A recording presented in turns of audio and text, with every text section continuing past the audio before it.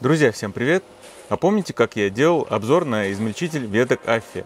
И после выхода видео возникли вопросы у некоторых зрителей, на которые хотелось бы ответить. С тех пор, как друзья узнали, что у меня появился такой измельчитель, который делает такую щепу, которая идеально подходит для подсыпки или для копчения, меня пару раз уже просили помочь с измельчением и пару раз брали его в аренду. Единственный минус, он, конечно, тяжеловат. Грузить в машину лучше не одному. А так измельчение идет на ура. Производитель указал, что максимальный диаметр измельчаемых веток 5 см. Но несколько раз пробовал больше и вроде справляется. С небольшими паузами, конечно.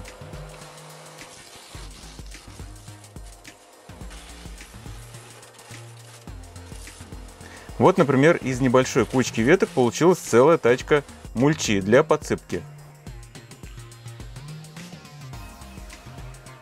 Сентябрь в этом году нас радует отличной погодой. Решил воспользоваться этим моментом и покосить бурьян за участком, чтобы весной не было там сухостоя, в котором, кстати, отлично обитают клещи и вообще хочется немного облагородить это место, хоть оно мне и не принадлежит. Также решил срезать немного веток ивника, чтобы не разрастался, и как раз проведу эксперимент –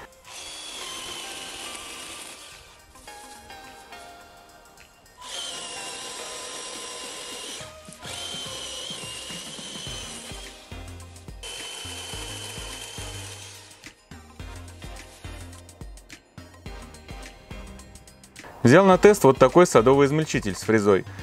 У него немного другой принцип работы, нежели чем у Афи. Там установлены ножи. Тут электродвигатель на 3 кВт, а у Афи двигатель на 2,2 кВт.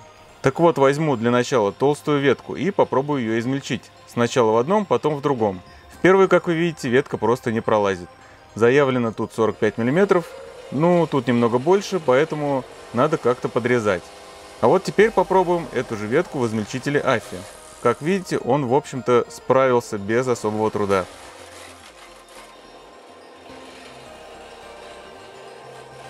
Далее решил сравнить их на скорость измельчения. Взял две идентичные ветки и в видео без ускорения и монтажа попробую их сравнить. Сначала испытаем на стандартном садовом измельчителе.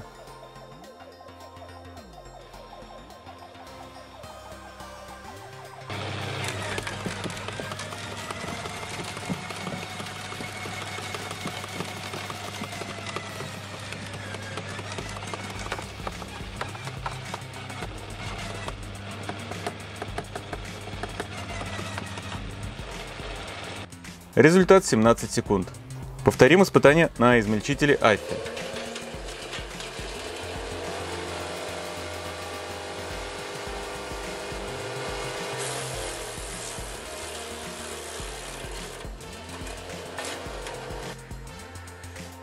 Результат 6 секунд.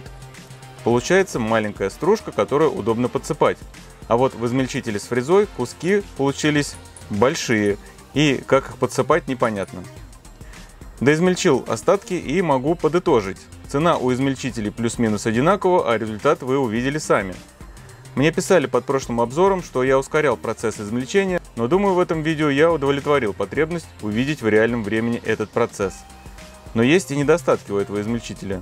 Как я говорил выше, он тяжелый, потому что полностью металлический, он более шумный и с ним нужно поаккуратнее работать, так как он выхватывает у вас ветки из рук и надо быть повнимательнее.